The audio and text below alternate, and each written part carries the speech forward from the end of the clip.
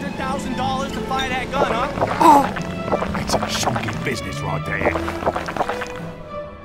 Doctor! Doc, come on, man! Bloody hell!